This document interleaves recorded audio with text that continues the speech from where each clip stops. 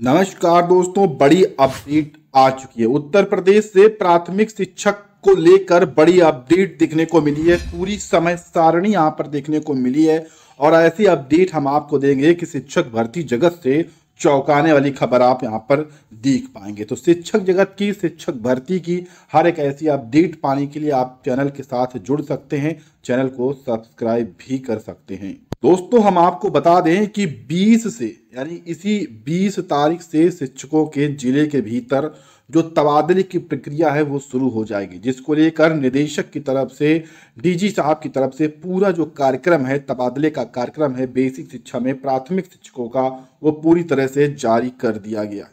25 जून तक इस पूरी कार्यवाही को पूरा करना है। 20 फरवरी को एनआईसी से ट्रांसफ़र पोर्टल यहाँ पर खुल जाएगा। 27 फरवरी तक शिक्षक मानव संपदा पोर्टल पर अपना विवरण देंगे और आपत्तियाँ करेंगे। 14 मार्च तक बीएससी आपत्तियों को ठीक कर देंगे। 20 मार्च तक सरप्लस व कम शिक्षक वाले विद्यालयों की सूची जारी कर दी जाएगी। 21 से 26 मार्च तक शिक्षकों का स्थानांतरण ऑनलाइन विकल्प भर लिया जाएगा और 25 मार्च से 6 अप्रैल तक बीएसए द्वारा आवेदन पत्रों पर डेटा लॉक कर दिया जाएगा। 16 अप्रैल तक एनआईसी द्वारा स्थानांतरण किया जाएगा। 30 अप्रैल तक एनआईसी द्वारा सॉफ्टवेयर का समायोजन किया जाएगा।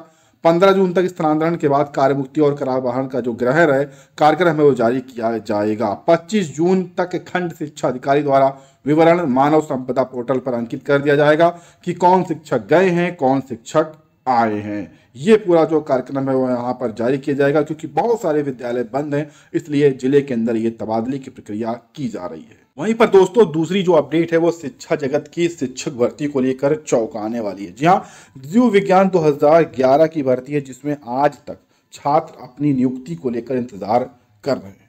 इस जीव विज्ञान 2011 भर्ती के छात्र कोर्ट गए थे। कोर्ट से उन्होंने परीक्षा का परिणाम घोषित करने की मांग की थी। उसके बाद चयन बोर्ड ने परिणाम तो घोषित किया। अब परिणाम घोषित किए जाने के बाद पदों को लेकर अभ्यर्थियों ने हाईकोर्ट में एक और याचिका लगा दी। मांग की गई है कि तिरासी पदों के लिए परीक्षा कराई गई थी। इसलिए परिणाम भी पदों के अनुरूप ही जारी किया जाना चाहिए। यानी कि तिरासी पदों के अनुरूप ही परिणाम जारी किया जाना चाहिए। इस मांग को लेकर जो छात्र हैं, एक बार फिर से कोर्ट गए हैं। और देखिए, अब वहाँ से क्या फैसला आता है, ये देखने वाली चीज़ें रहेंगी, जो भी अपडेट आएँगे वो हम आपको बताएँगे। फ़िलहाल यहाँ पर कहा गया है कि एक अभ्यर्थी साक्षात्कार के लिए सफल घोषित किए गए जो कि रिक्त पदों के सापेक्ष दुगने हैं, जबकि कम से कम तीन गुना सफल अभ्यर्थी पास किए जाने चाहिए थे। यही सब मामला है, इसको लेकर फिर से कोर्ट भर्ती फंसी है। चौंकाने वाली अपडेट है। फ़िलहाल जो भी कोर्ट से आदेश आएगा, हम आप तक ज़रूर पहुँचा देंगे।